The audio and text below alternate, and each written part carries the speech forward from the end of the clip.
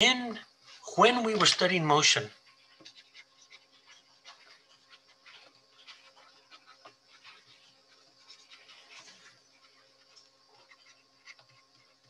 And what I really mean by that is I really mean chapters one, two, and four. Objects mysteriously, right? They mysteriously all of a sudden started, you know, accelerating. They mysteriously, you know, accelerated. And what do I mean by accelerated? It really means that they suddenly started speeding up or slowing down. The question is why do objects accelerate? And I know that a lot of you guys already know, you know, some of the things that we're talking about. And the answer is given by Newton's laws, the laws of everyday physics. Newton's laws tell us why. So what we're saying here is that Newton's laws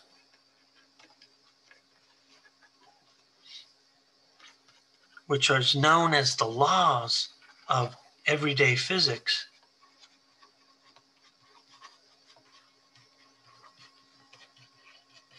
ten um, answers this question. And what you're going to see here is that there's some, you know, I'm going to, in fact, I'm going to throw it out right now. I have a challenge for you. Okay. What we found here that in motion, what we found here is that people had a confusion, not all the time. There was a confusion between velocity and acceleration. And that's easy to do until you get a, a handle but there's a huge one that's going to be right in your face. In Newton's laws, there's a big confusion between acceleration and this thing called the net force. I think people are going to struggle big time with the net force. And depending on the situation, you will literally hear people saying force, but they really mean acceleration. And then there's going to be other situations when they're saying acceleration, but they're really saying force. And part of the problem is everyday language. Everyday language is very, very, very sloppy. Physics is going to make it crystal clear. But I suspect there's going to be growing pains. And so when you look at this chapter, what you're going to see here is that there's really two breakdowns. Okay, so what we're going to see here is Newton's laws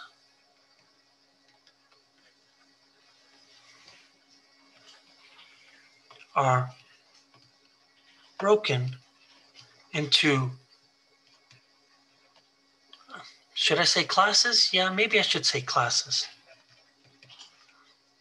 There's the acceleration equal to zero. And this what this really implies here is that we have something called force free motion that's sort of like the modern day language. The old language is equilibrium. And I should really, you know, textbooks still use it, but there's there's some people that are saying that we should move away from that. So there's force-free motion. And force-free motion seems you know, if you're not experienced with it, it's a little bit odd. And it doesn't mean that there's no forces acting on an object. It just means that the net force is zero. And if you have this kind of motion, what it's really telling us is that you're in a state of motion of rest or constant velocity.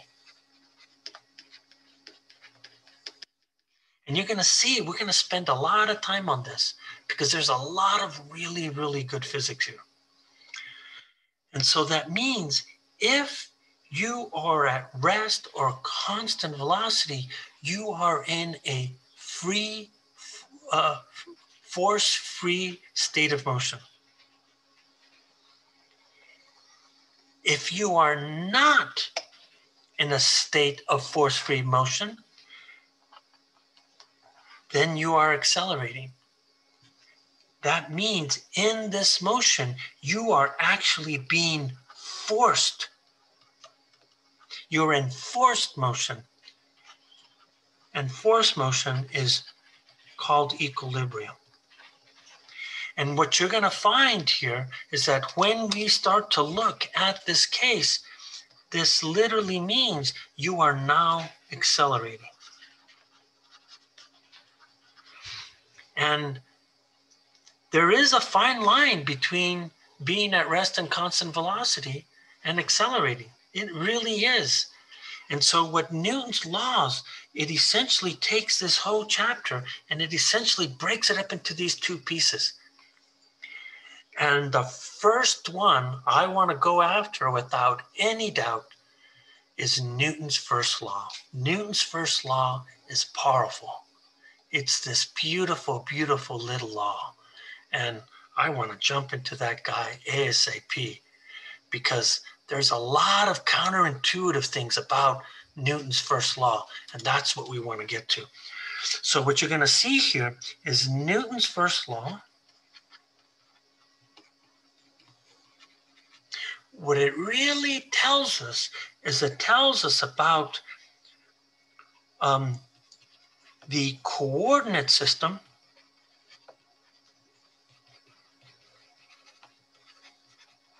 where Newton's laws are valid. And then you have Newton's second law. And what Newton's second law does is it tells us why objects accelerate. And then there's the elusive Newton's third law. And Newton's third law, what it does here is it tells us how objects interact. So, in summary, this is a very, you know, very brief description of them, but that's essentially what we want to do. We want to set up the coordinate system. What does it mean to be in that coordinate system? And then we go on to look at why objects accelerate and then finally, we hit the last piece that tells us how objects interact with each other. So Newton's first law.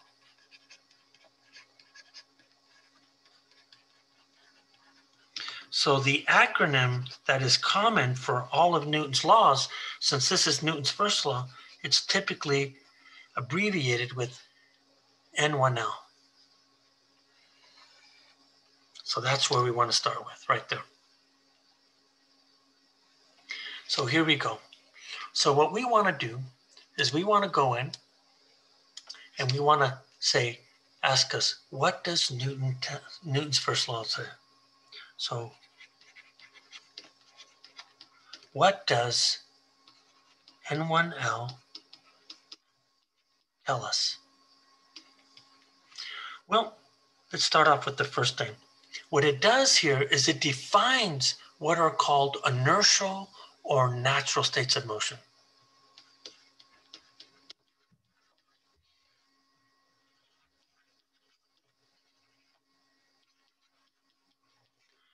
So inertial or natural states of motion. So, what is a natural state of motion? So, natural state of motion means states of zero acceleration.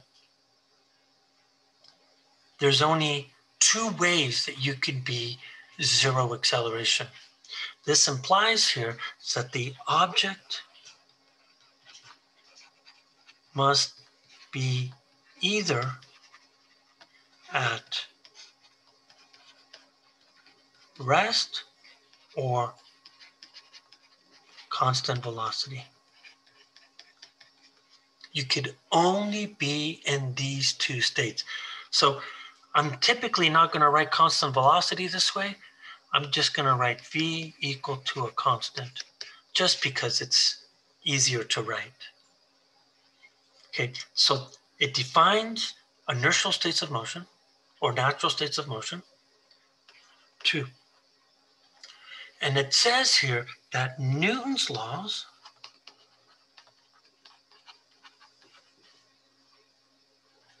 are only valid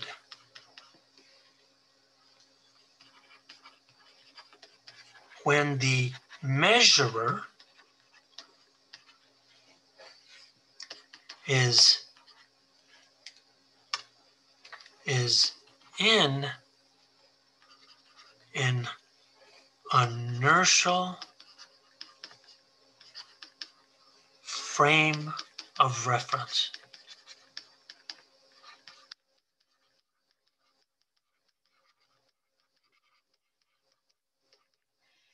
Okay. So what's inertial? Inertial is the same as natural.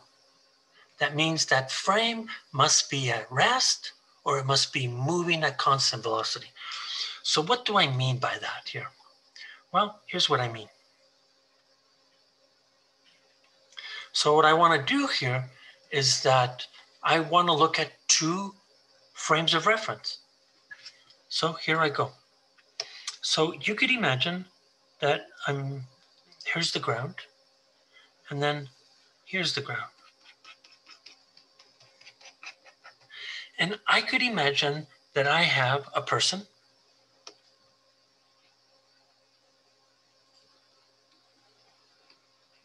And so here's this person. And what I know about this person here is that this person is at rest.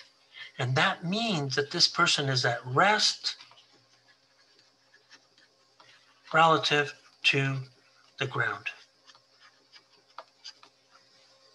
So that means when this person carries their little coordinate system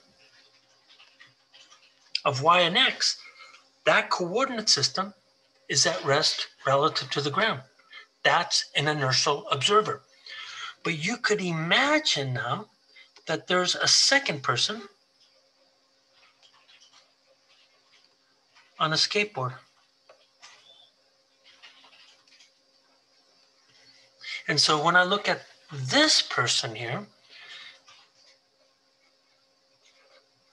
right, as they're standing and moving on the skateboard, we know for a fact that this person here is moving at constant velocity. So what we say here is that they're moving at constant velocity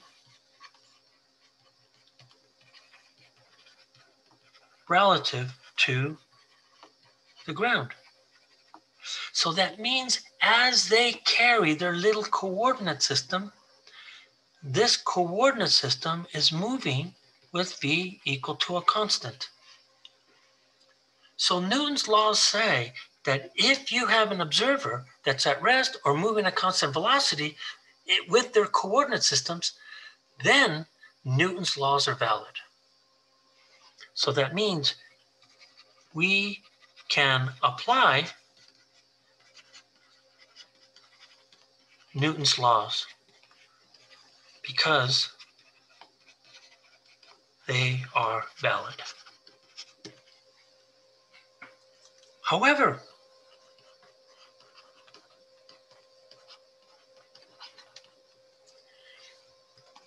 if an observer is accelerating, and what do I mean by accelerating? Speeding up, slowing down. If they are accelerating. So in this case here, I now have an observer that's, let's say, speeding up. So we're looking at this thing here, and now I, I think about my the skateboard situation, and I have this woman on the skateboard that's now accelerating. That means that the velocity and the acceleration is this way. Because this is the case, what we say here, this is a non inertial observer.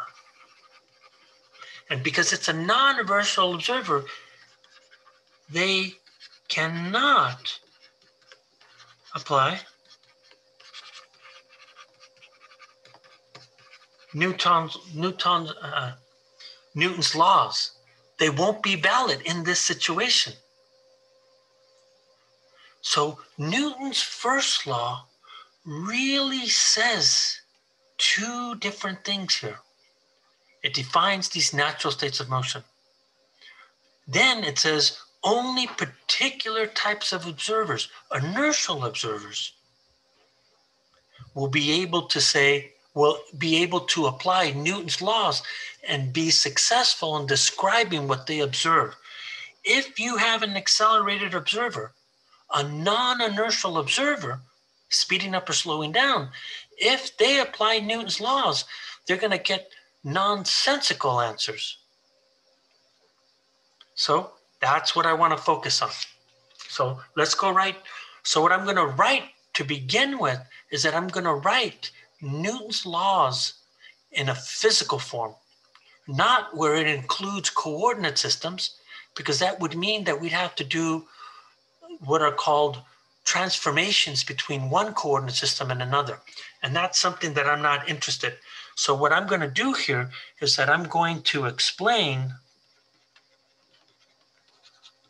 Newton's first law through physical interpretation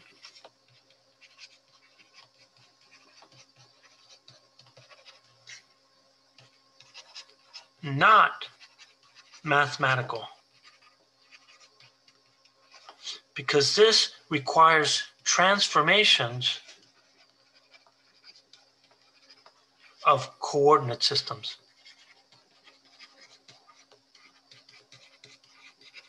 And there's, you could do that. And if you take, like, um, you know, if we had enough time, I would definitely go through with it. But it, it turns out that it skews the physics. And I'm most interested in physics. So here I go. Newton's first law. And this is what Newton's first law says. And I'm going to say it as easy as possible. It says objects at rest or moving at constant velocity will remain in these states of motion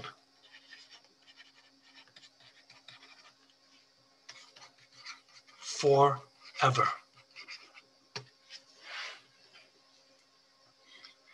Objects at rest or moving at constant velocity will remain in these states of motion forever. Okay? If they are not in one of these states of motion, a net force is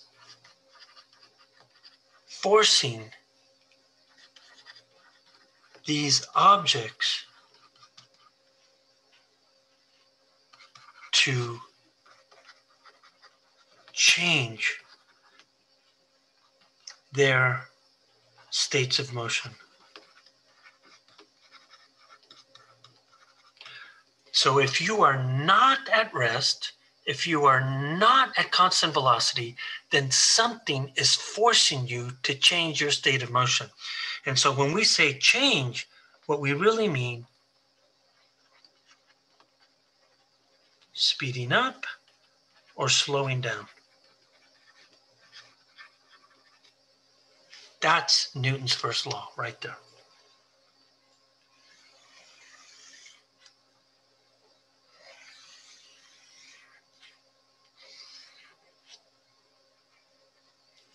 Okay, that is Newton's first law.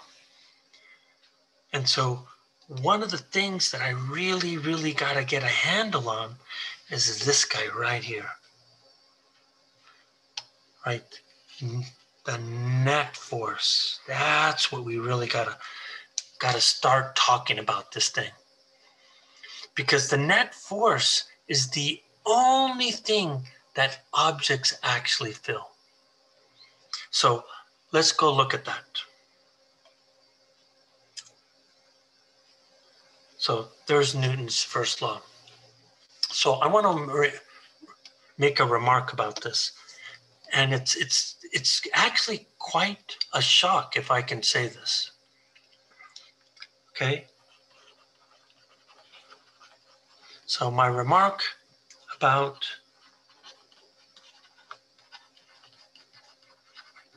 the net force.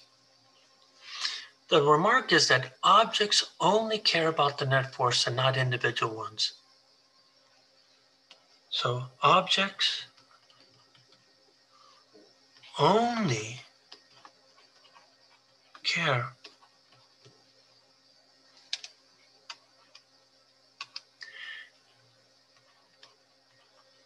about the net force and not about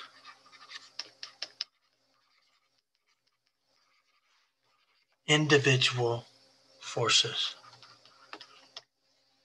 In fact, you'll hear me say objects only feel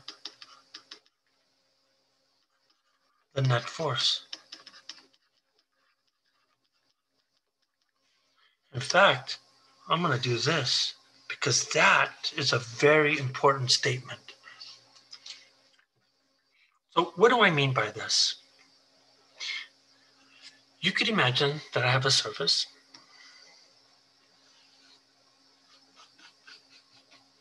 And I have a block on the surface here. So let's say that this is my block right here. Now, as I look at this block here, I'm going to say that I'm going to take the force of my hand and I'm going to apply a force on this thing. So I come in here with my hand and I'm applying a force and I'm forcing this object to slide across the table.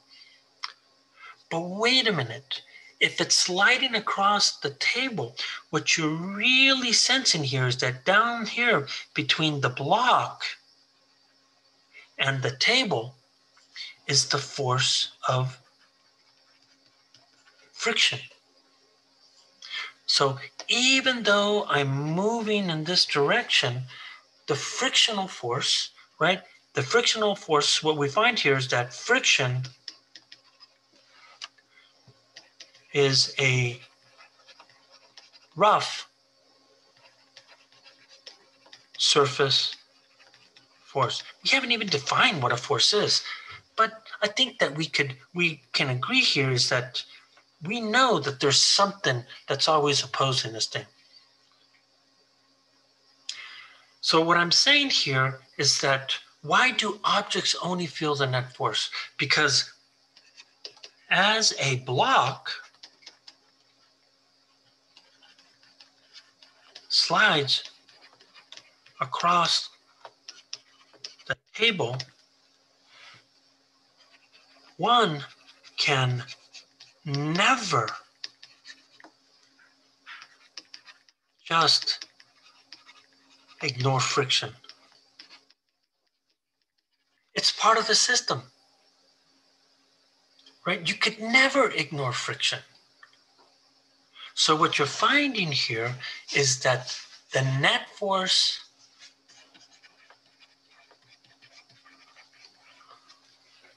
accounts for all forces acting on an object. And so what I'm really saying is that if I look at the net force, what I'm seeing here is that there's two competing forces. There's the force of my hand that's going in one direction. And then there's the force of friction and in this case here, they're opposing each other. Right? And what you're seeing here, what I'm saying here is that this is the only thing the block feels, right? Like blocks have feelings. But the fact is this you cannot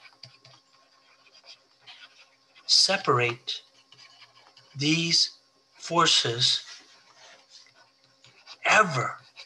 And because you can't separate them ever, the only thing the block feels is the difference between those two forces. So a net force doesn't say that there's no forces acting on an object. All it's saying here is that you have to include all of the forces, and all of these forces act as one. And when they act as one, that's when I say that objects only feel the net force.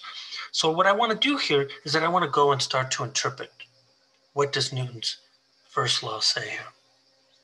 So here we go. So let's go look at the interpretation of the physics of Newton's interpretation of Newton's first law. So the first thing that we should say here is that it says that if an object is either at rest or constant velocity, no net force is required to be in this state, right? So if an object is either rest slash constant velocity, this implies no net force is required to be in this state. So what do I mean by this picture-wise? Well, what I mean by this in terms of picture-wise is that we could look at this in, in a couple of ways. You could imagine that I have my surface, right? Here's my surface right here. And on the surface here, what we're going to do here is that we're going to put a water bottle down here.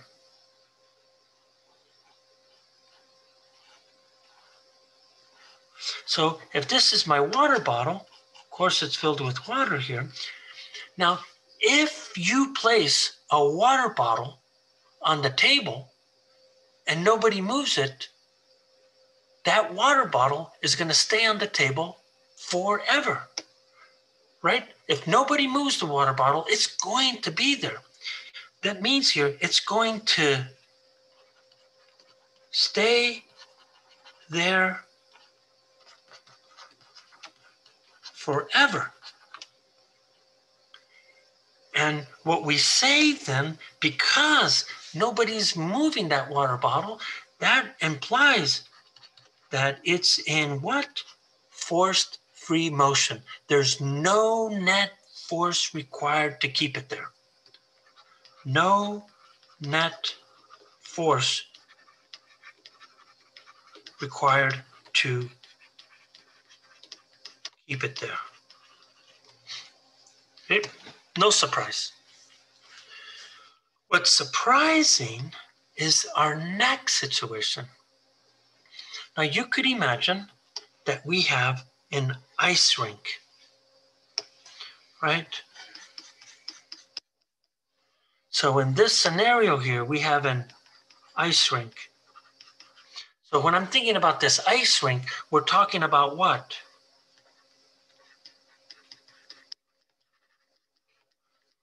Frictionless ice.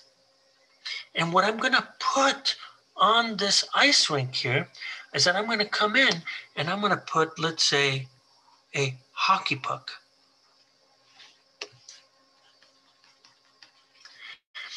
And somebody smacks the hockey puck, and all we know is that this hockey puck is doing what? It's moving at constant velocity. Right? So it's moving at constant velocity. Now imagine that if I truly have frictionless ice, if I hit a hockey puck, is it going to go to the other side of the rink? The answer is yes. But what if this rink was, let's say, five, five miles long? If I hit this thing and it's truly on frictionless ice, Will this puck make it all the way to the five mile end? The answer is absolutely yes. So the question is what is forcing this object to keep moving at constant velocity? The answer is nothing. What's going to happen? This thing is going to stay moving at constant velocity forever.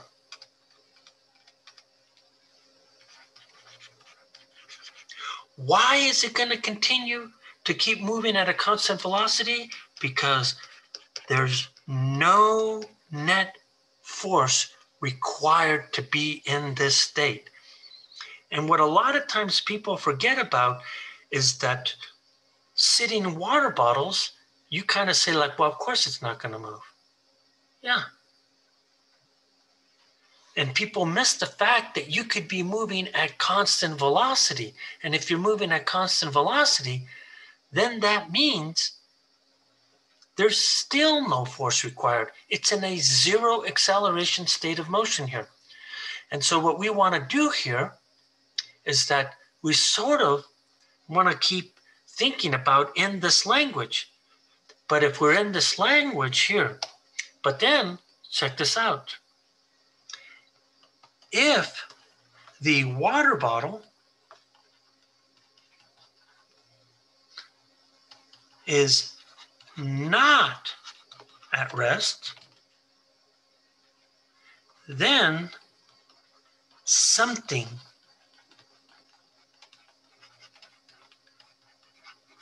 forced it to move. Right? If you put the water bottle down and somebody comes and takes it, somebody forced it to move. And what that means here is that means that the net force in this case is not zero. Somebody forced it. And if the net force is not zero, then it must be in an acceler- accelerated state of motion. And if it's in an accelerated state of motion, that means it has to be speeding up or slowing down. Right? It has to be, in order to move it, somebody had to speed it up to get it to move. The same thing with the uh, with the puck here. If the puck is not at constant velocity, then something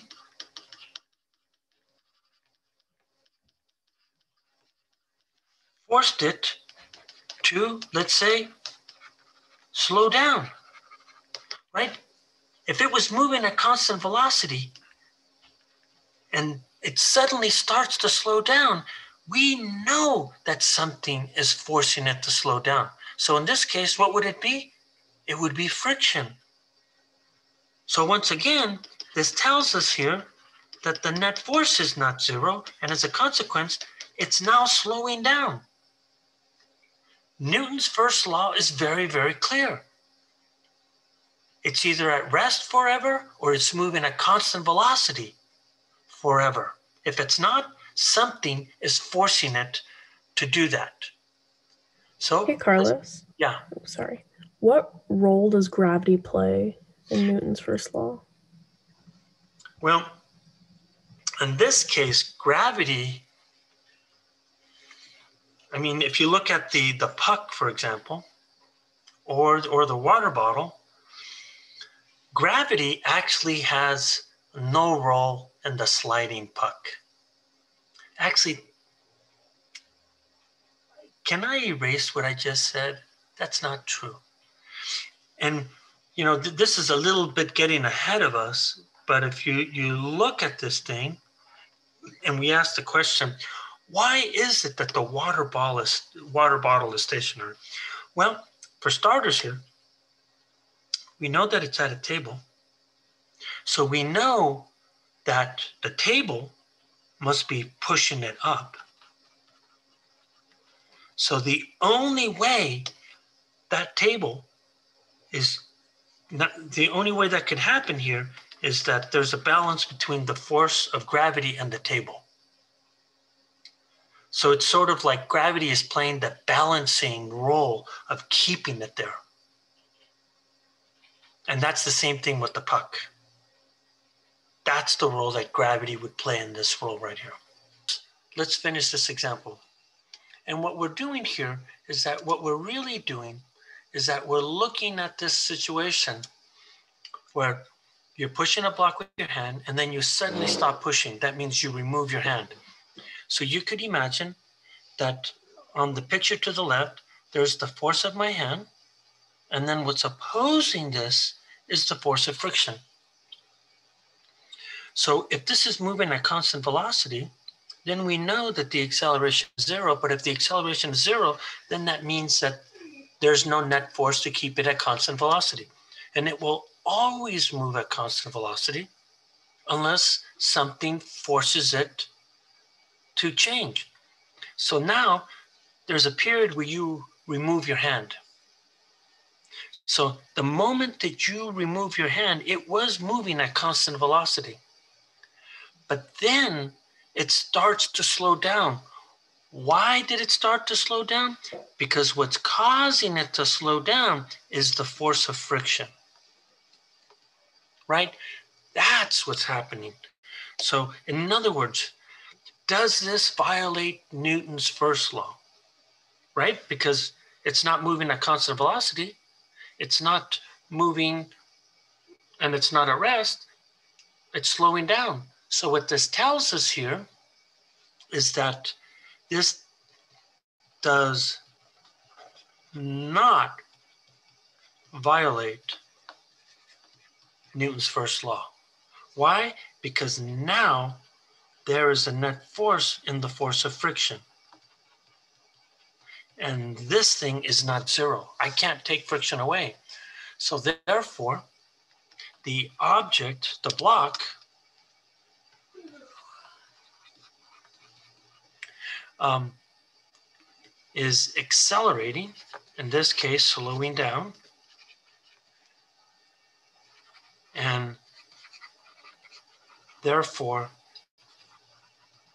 being forced to decelerate. And that's exactly what Newton's law is actually telling us. So what I want to do here is that I want to continue with these examples because that's a fairly light one. Let's go into some deeper ones. Okay. And what we want to do here is we want to know what happens in these two situations. So the question that I'm asking is that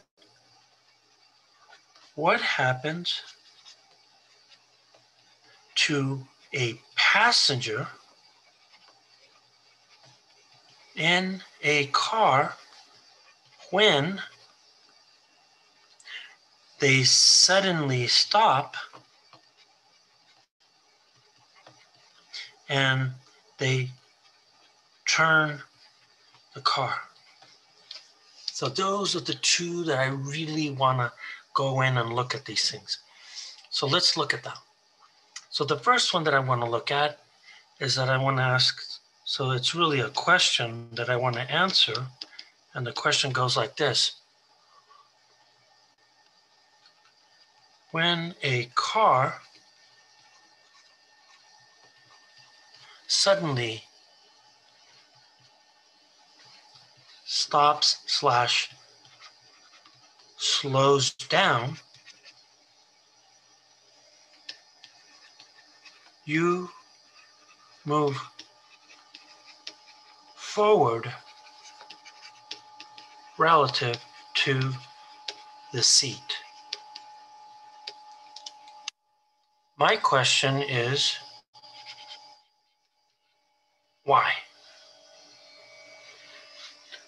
So let's start to draw, drive our cars. And here we go.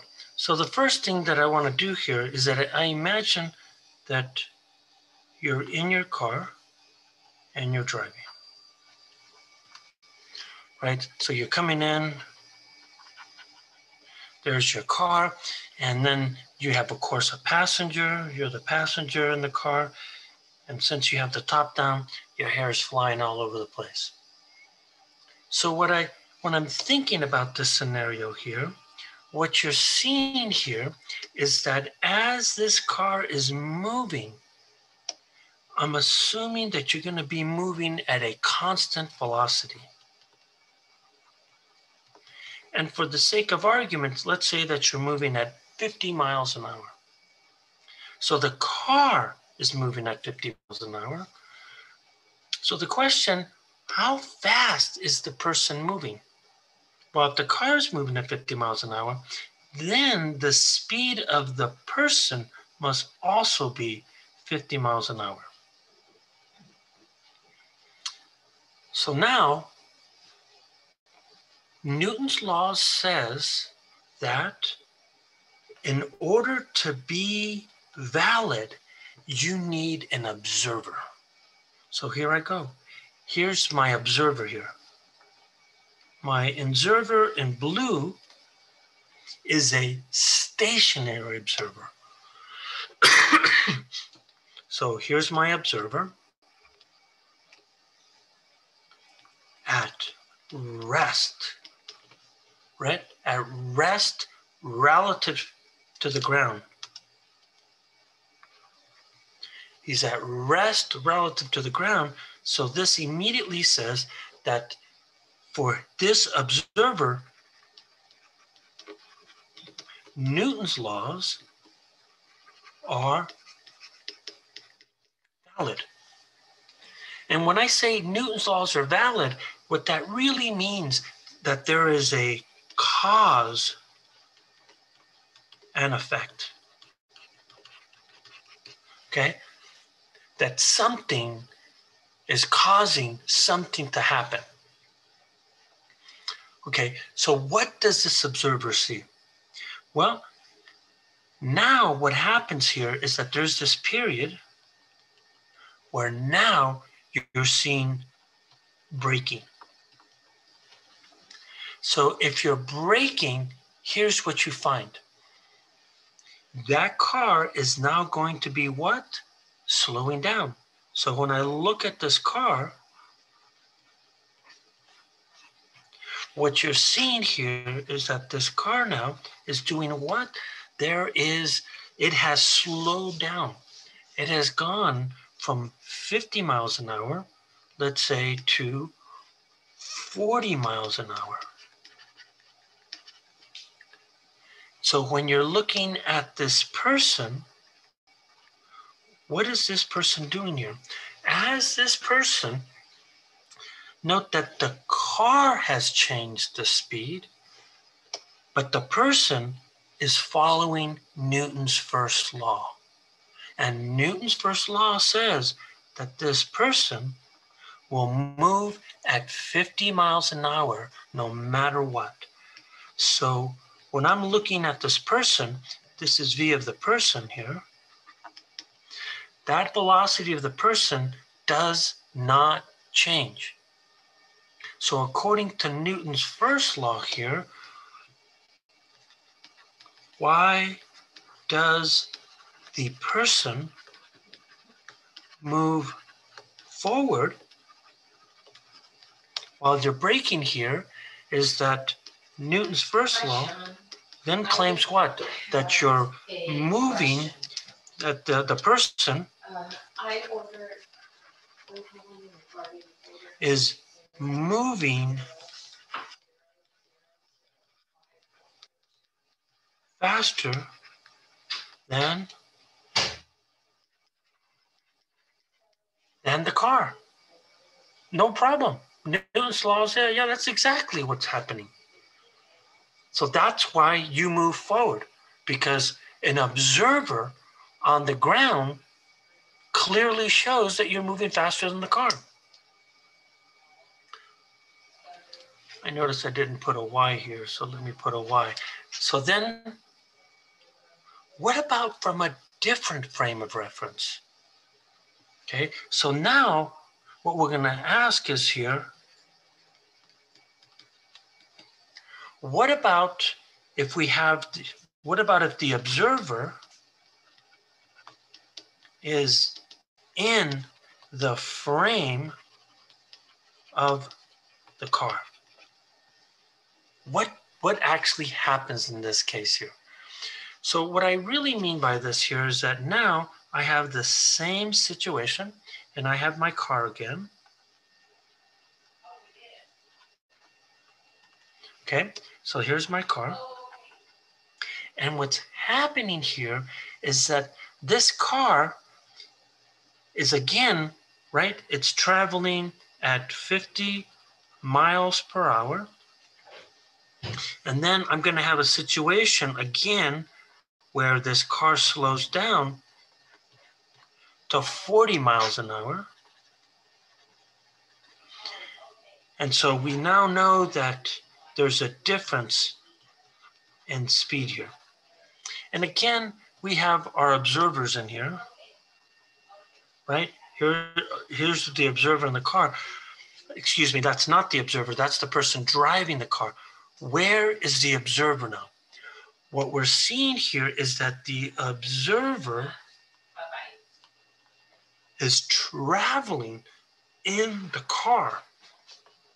And I'll put him on top of the car because we're actually kind of looking at this situation. So what is happening here? So what does the blue observer see here? The observer sees the pink person suddenly accelerate in the forward direction for no reason. So the blue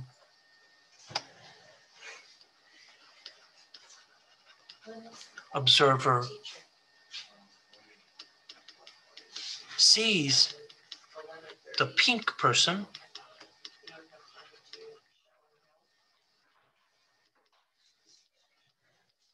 suddenly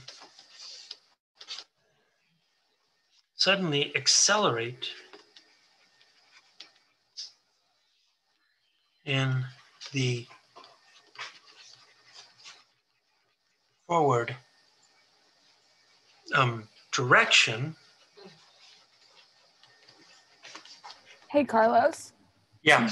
The rate of acceleration of the pink person would be dependent upon delta v or like change in velocity, right? So right over the time interval. Okay, yeah. Okay, thank you. Okay. So the blue observer sees the pink person suddenly accelerate in the first direction. Now, remember what I said here. And what I said here very, very importantly, Newton's laws are about cause and effect. So now the question is what is the cause of acceleration?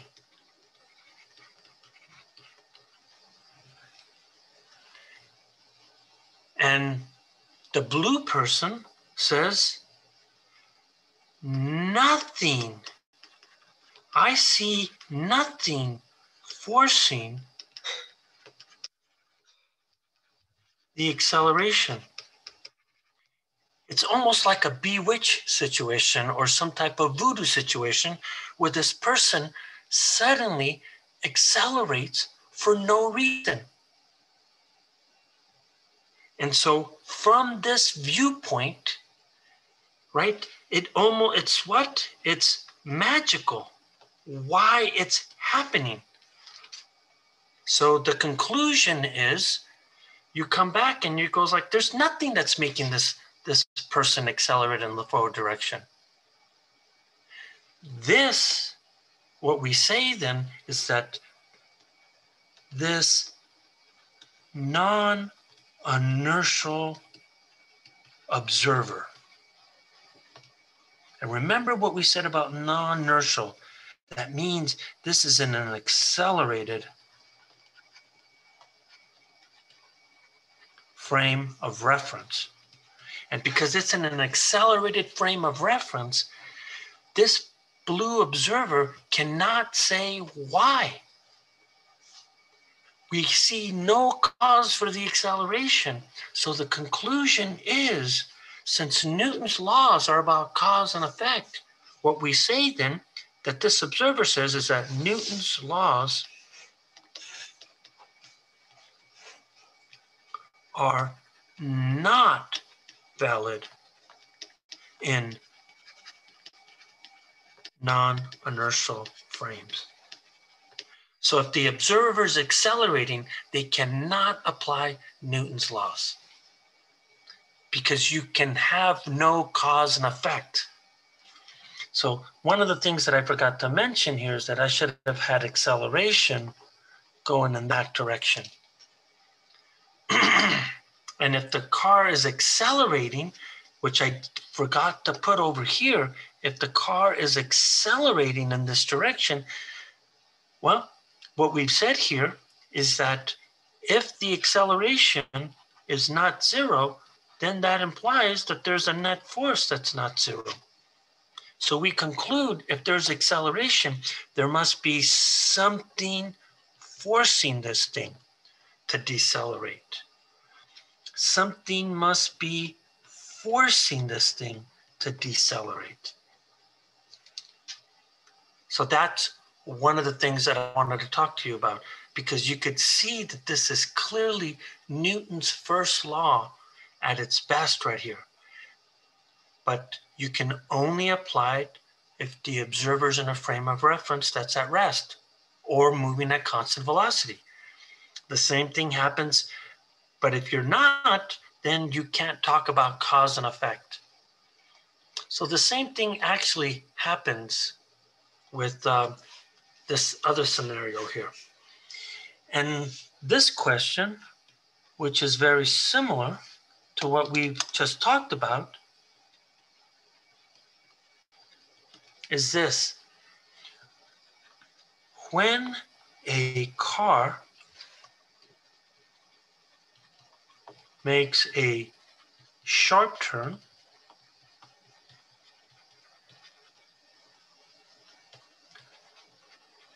your body slides towards, I want to say, the door. It's not necessarily the door, but it slides to one side of the car. Okay? Again, the question that we're asking why? Okay?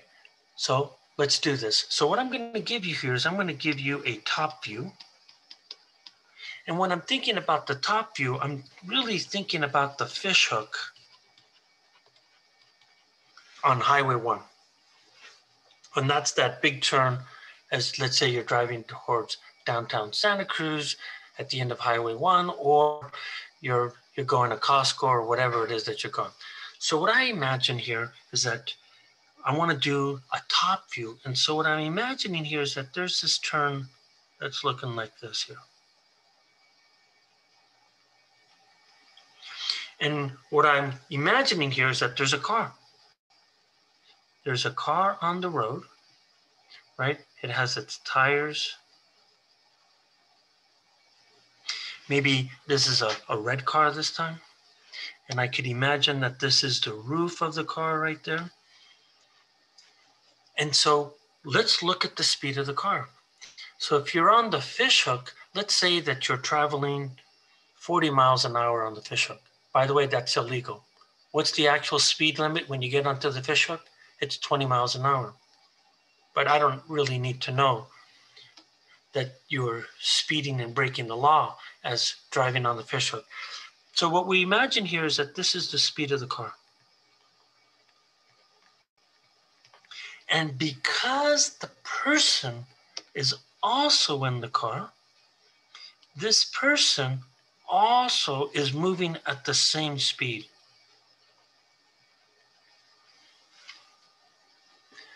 So now what happens here?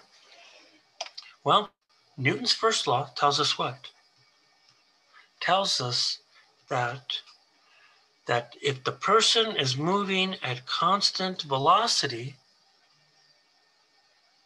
um, let me write that different. It says that if you're moving at v equal to a constant, then you will forever. Right? So check this out. What happens? What happens is, is that now the car, in order to stay on the road, must what? Has to turn. So when you're looking at this car, what you're seeing here is that the car direction has changed because you had to take the steering wheel. But the velocity of the person continues to move where? In the same direction. And since the velocity of that person is still moving in the same direction, you're moving towards the direction of the door. So therefore, it makes sense. So if I have my little blue observer again, my little blue observer relative to the earth is saying like, well, yeah, of course the person moves towards the door. They were always moving towards the door. It's just that the, excuse me, they were always moving straight. It's just that the car changed direction. And because the car changed direction, of course the person is sliding towards the door. Classic Newton's first law application here. But if the observer was on the car from a non-inertial frame, that means, what about the person on the side here? The person slides towards the door for no reason whatsoever. Right? There's no cause. That person does not realize that there has to be a cause that they're going like, wait, what's pushing me? What's pushing me towards the door? There's nothing acting on me. And so we conclude here that Newton's laws are not valid because there is no cause